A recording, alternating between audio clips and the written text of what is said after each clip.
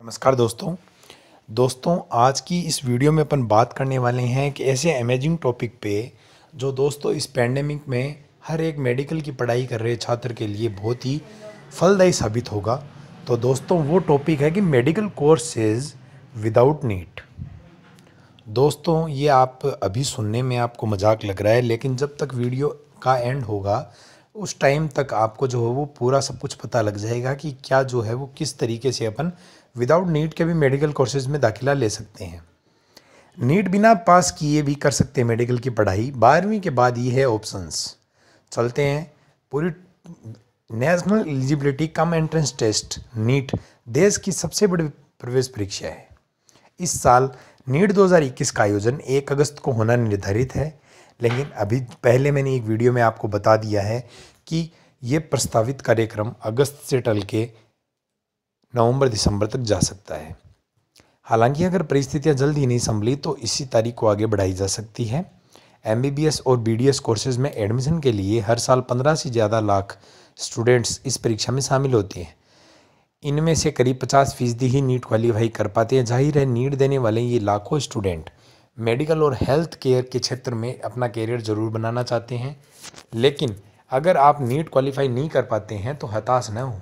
ऐसे कई कोर्सेज हैं जिनके ज़रिए आप हेल्थ केयर के क्षेत्र में बेहतरीन कैरियर बना सकते हैं। इसके लिए नीट की ज़रूरत भी नहीं होती, जो दोस्तों मैं आपको जानकारी दे रहा हूँ। इनमें आमतौर पर बी फार्मा भी इसके कहा जाता है। इसमें दवाओं की पढ़ाई करवाई जाती है, दवाएँ बनाने की तकनीक सिखाई जाती है। भारत में कई देशों में फार्मासिस्ट बनने की ये डिग्री ज़रूरी है। इसके ज़रिए आप pharmaceutical industry herbal industry cosmetic industry clinical research के क्षेत्र में लाजवाब करियर बना सकते हैं। इसके अलावा सरकारी विभागों में भी production quality control research and development आदि के लिए यहाँ पे नौकरियाँ मिलती हैं। कई यूनिवर्सिटीज़ इंस्टीट्यूट अलग अलग एंट्रेंस एग्ज़ाम्स के ज़रिए इन कोर्सेज में एडमिशन दिलाते हैं। नीट कराने वाली नेशनल टेस्टिंग एजेंसी भी फार्मेसी के लिए नेशनल लेवल एंट्रेंस एग्ज़ाम करवाती है। बीटेक इन बायोमेडिकल इंजीनियरिंग दोस्तों, ये एकदम न्यू टॉपिक है बी फार्मा तो। फिर भी आपका सुना वो होगा। बीटेक इन बायोमेडिकल इंजीनियरिंग जो है, वो ये चार साल का अंडर ग्रेजुएट कोर्स है। साइंस के में जो है वो बारहवीं यहाँ पे कोई अन्य समतुल्य डिग्री प्राप्त करने के बाद इसमें एडमिशन ले सकते हैं। इसके बाद आपके लिए बतौर बायोमेडिकल टेक्नीशियन बायोमेडिकल इंजीनियर और बायोकेमिस्ट के तौर पर यहाँ पे आगे का रास्ता खुलता है। तीसरा है B S C nutrition nutritions के अंदर बी एस सी आप करें।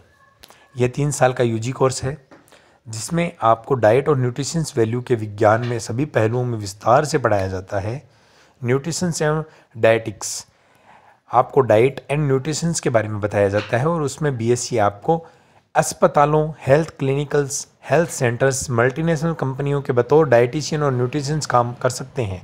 सैलरी भी इसमें अच्छी मिलती है। मैंने आपको बता दिए चार कोर्सेज पांचवा है बीए साइकोलॉजी हेल्थ केयर में आगे जाने के लिए अन्य मेडिकल कोर्सेज की तरह इसके लिए बारहवीं की साइंस जो है वो बायोलॉजी यहाँ पे अनिवार्य है। आर्ट व कॉमर्स के स्टूडेंट भी साइकोलॉजी में ग्रेजुएशन कर सकते हैं। इसके बाद आप हेल्थ एवं मेंटल केयर काउंसलर कंसल्टेंट के तौर पर काम कर सकते हैं या फिर क्रिमिनल जस्टिस या सोशल वर्क के क्षेत्र में भी कैरियर बना सकते हैं। छठा ऑप्शन है बीएससी फिजियोथेरेपी अभी ये बहुत ज़्यादा चल रहा है क्योंकि अभी ऐसी लाइफ हो हो गई है दोस्तों कि उसमें यहाँ पे फिजियोथेरेपिस्ट बहुत ज़्यादा ज़रूरी होने लग गया है। तो अब जो हो यहाँ पे बीएससी फिजियोथेरेपिस्ट ज़रूर ज़रूर यहाँ पे अच्छा ऑप्शन बन सकता है। ये तीन साल का अंडर कोर्स है। इसके अंदर आप lecturer physiotherapist researcher research assistant sports physio rehabilitators और आप थे, थेरेपी मैनेजर्स भी आप बन सकते हैं। और निजी क्लिनिक में भी आप यहाँ पे अच्छे वेतन में काम कर सकते हैं। ये कोर्सेज भी अच्छे विकल्प आपको और बता देता हूँ। BSc cardiac BSc biotechnology B S BSc microbiology BSc cardiovascular technology BO आपको आप बैचलर ऑफ़ ऑक्यूपेशनल थेरेपी इसके अंदर भी आप कर सकते हैं। तो दोस्तों, ये जितने भी कोर्सेज है, ये तीन साल की अवधि के हैं और आप सभी के लिए राष्ट्रीय स्तर के साथ साथ राज्य स्तर की प्रवेश परीक्षाएँ भी इसमें उपलब्ध होती है। कई संस्थान अपने स्तर पर भी एंट्रेंस एग्ज़ाम यहाँ पे ले लेते हैं। तो दोस्तों, वो आपको यहाँ पे सर्चिंग करनी होगी। मैंने आपको यहाँ पे जितने भी कोर्सेज है, वो आपको मैंने बता दिए। तो दोस्तों, ये कितने अच्छे अच्छे ऑप्शन हैं। जो नीट के अंदर क्वालिफाई नहीं हो रहे हैं, वो हताश न हो। इन कोर्सेज में दाखिला लें और इसमें भी जो है अच्छे वेतन के साथ आप आगे यहाँ पे बढ़ सकते हैं। बस दोस्तों, यही एक छोटी सी वीडियो थी। इसके माध्यम से आपको बताना चाहता था कि डिमोनेटाइज न हो। अपने आप को कम न समझें। और इस तरीके की जितनी भी कोर्सेज है, उनमें दाखिला लें और मेडिकल के क्षेत्र में आगे बढ़े और अपना योगदान दें। जय हिंद, वंदे मातरम।